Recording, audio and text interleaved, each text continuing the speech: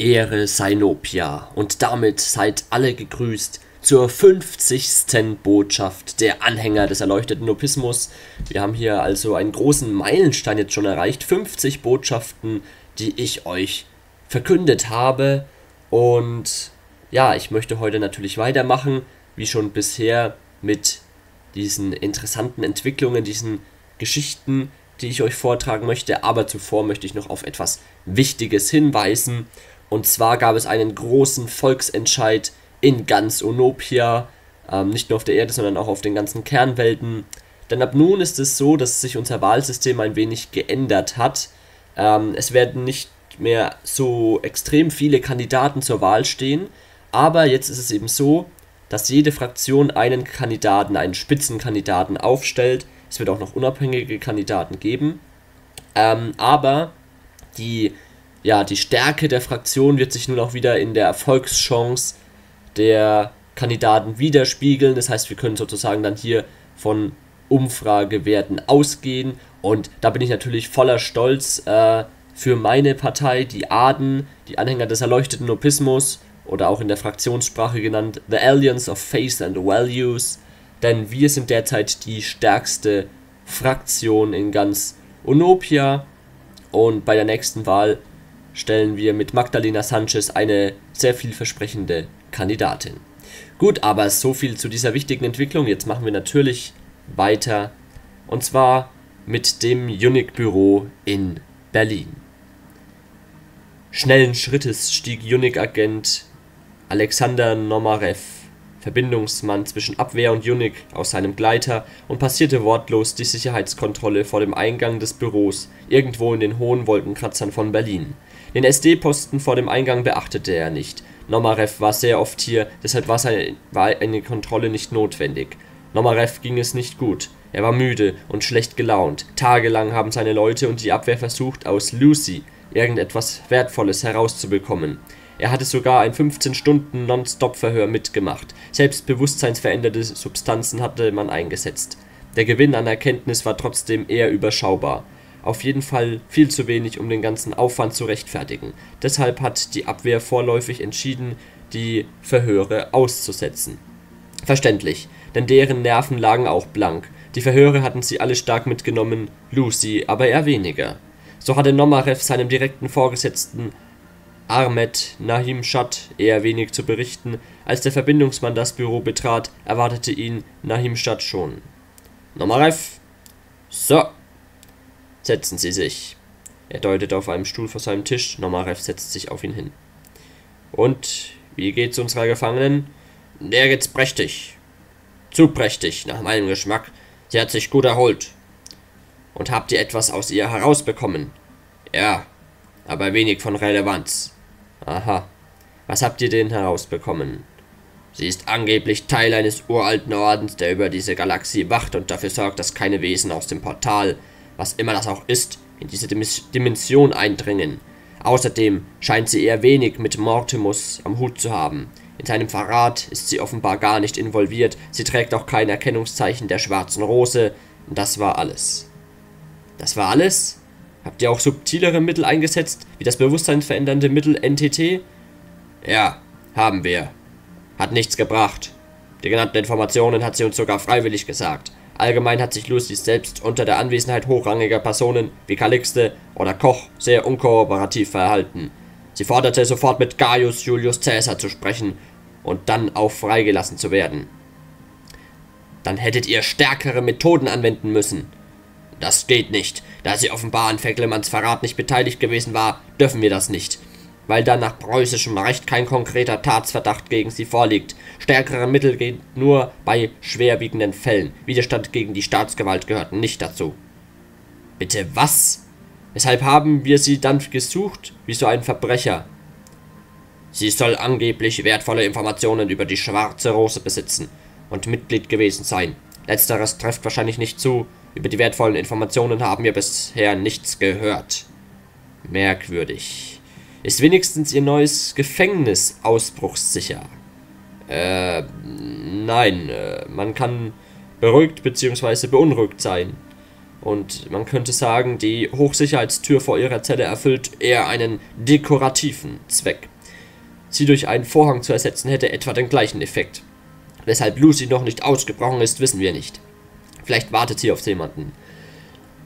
Übrigens, diese neuen Superklone der Coast, diese Arcs, sind gegen eine ausgeruhte Lucy nutzlos, hat sie uns eindrucksvoll bewiesen. Das heißt, sie könnte theoretisch jederzeit ausbrechen, ohne dass wir auch nur den Hauch einer Chance haben, sie aufzuhalten.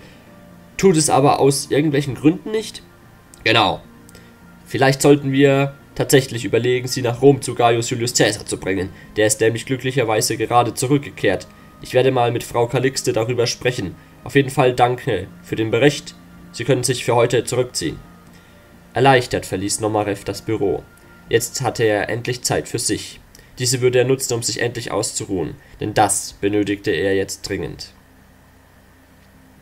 Beim ersten Anblick sah man nichts weiter als Säulen, Fundamente, Turmspitzen und die dazugehörigen Türme, aber wenn man genauer hinsah, dann erkannte man die neu gegründete Psioniker-Akademie der Aden, eine Stiftung der Komarov und Maximuschkin-Familie. Das Gebäude war ist vier Monate, vor vier Monaten fertiggestellt worden und dennoch fühlte sich Cassandra hier wie zu Hause. Sie saß allein in einem der vielen Meditationsräume und dachte nach, sie war fast vollständig in Gedanken versunken. Einen Moment spürte, hörte, sah und roch sie rein gar nichts, war sie wie in einer Trance und wurde je von einer Erscheinung gestört, die sie regelrecht erschreckte. Eine böse Gestalt von, stand vor einer Tür und fünf andere böse Gestalten kamen zu ihm. Neben der ersten Gestalt stand ein kleines Kind, dessen Geist von der gnadenlosen Bosheit der ersten Gestalt infiziert war. Cassandra spürte eine Präsenz, eine, die ihr bekannt vorkam und die sie doch noch nie gespürt hatte, und plötzlich wurde ihr weiß vor Augen und sie fand sich in einer großen Halle wieder. Sie konnte nur eingeschränkt sehen, aber was sie vermuten ließ, dass sie eine Vision hatte. Eine Person in schwarzem Gewand stand vor einer Vogelfigur. Cassandra vermutete die Inari-Kaiserin. Zuerst gab die schwarz gekleidete Gestalt der Vogelfigur einen Kuss und dann rammte sie der Vogelfigur einen Dolch durchs Herz. Und in der Ecke stand wieder ein kleines Kind und lachte. Cassandra wechselte in die nächste Vision. Sie sah Koch, den sie selbst nie leiden konnte. Er stand vor einer Frau, dessen Gesicht Cassandra kannte. Sie wusste allerdings nicht, wer genau es war. Lucy. Nun, Koch, was wollen Sie nun von mir? Das werden Sie noch früh genug sehen. Aber erst einmal habe ich eine schlechte Nachricht für Sie. Die Tempel der Elamaniden wurden entweiht. Lucy in Gedanken. Die Hunensteine. Verdammt, wer ist dort eingedrungen? Ich weiß es nicht genau. Aber alle Priester sind tot. Das ist für uns zwar nicht interessant, aber wir dachten, Sie würde es interessieren. Nun habe ich eine Frage. Sind Sie wirklich Cassandras Mutter? Ihre sterbliche Ziehmutter, ja. Und Ihr Vater, dieser John Fecklemann? Er ist nicht real. Es gab keinen Vater. Cassandra war ein Geschenk von Nopia selbst. Ihr richtiger Name ist Norina und sie ist keine Normalsterbliche. Cassandra ist verblüfft. Mal angenommen, ich würde Ihnen glauben, wie den. Lucy schneidet ihm das Wort ab. Wenn Sie diese Eventualität aufstellen, glauben Sie mir. Ich spare mir die Lügen. Ich glaube zwar nicht, dass sie ein Geschenk von Nopia ist, aber normal ist sie definitiv nicht. Cassandra wechselt wieder die Vision. Ihr wurde klar, dass die letzte Vision ungewiss war, dass sie der Zukunft entsprechen würde. Aber da die Zukunft veränderbar ist, war diese Vision ungewiss. Das erste, was sie sah, war das Gesicht von Fecklemann. Er stand vor der schwarzen Gestalt aus der allerersten Vision. Fecklemann hatte eine ganze Armee hinter sich, dann ging er einen Schritt vorwärts und ein paar aus der Armee verschwanden. Das Ganze wiederholte sich zehnmal, dann stand Fecklemann nur noch mit drei anderen vor der bösen Gestalt, welche sich plötzlich in eine riesige Kreuzung aus Mensch und Fledermaus verwandelte. Im Hintergrund zeichnete sich ein riesiges schwarzes Gesicht ab. Die Fledermaus hob ein riesiges Schwert und senkte es auf Fecklemann nieder, aber blockte es mit einem extrem kleine, mit einer extrem kleinen Klinge ab und ging weiter. Beim zweiten Schlag sackte Fecklemann aber zusammen und verschwand. Cassandra wollte anfangen zu schreien, konnte aber ihren Mund nicht öffnen.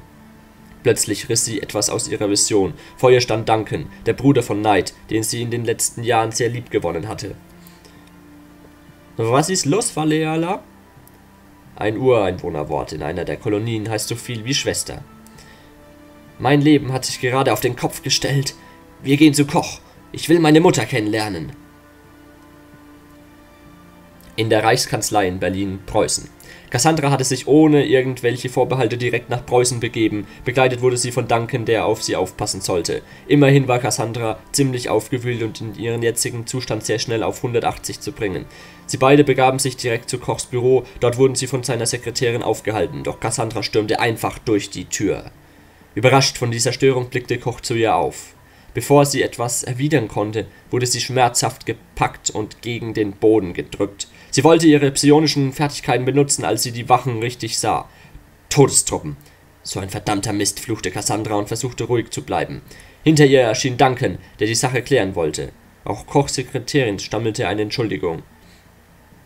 Sie können nichts dafür, meine Liebe. Gehen Sie wieder an die Arbeit. Und ihr werdet, mir nun ihr werdet mich nun alleine lassen, Commander. Fräulein Cassandra und ihr Begleiter wollen wohl ein eher privates Gespräch führen. Vielen Dank, Herr Koch. Tatsächlich ließen die Todestruppen von ihr ab und verschwanden durch die Eingangstür. Schwer atmen, versuchte sich Cassandra zu beruhigen und versuchte so neutral wie möglich mit Koch zu reden, der Person, der ihre Mutter in Gefangenschaft hielt. Wo ist meine Mutter? Ich will zu ihr, und zwar sofort. Wer hat Ihnen von Ihrer Mutter erzählt? War es Gaius oder Direktor Hooks? Nein, Sir. Cassandra hatte eine Vision von Nopia persönlich und will wissen, ob die Vision stimmt oder nicht. Duncan warf Cassandra einen warnenden Blick zu.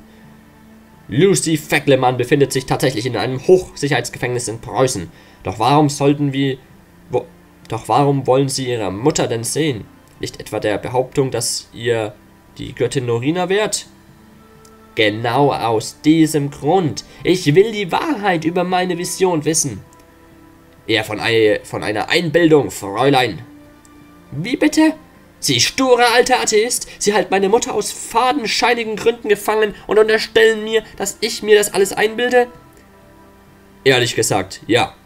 Sie sollen eine Vision gehabt haben. Ich denke, er jemand hat etwas ausgelauerte. Obwohl ich um Diskretion in dieser Sache gebeten habe. Diese Ausplaudereien. War ja klar, dass Gläubige die Worte Ehre und Anstand nicht kennen. Sie verdammter alter Mann! Cassandra wirkte Koch mit ihren Fähigkeiten. Lassen Sie, lassen Sie da. Oh, oh. Bevor Cassandra ihre volle Wut auf Koch auslassen konnte, wurde sie von Duncan abgehalten.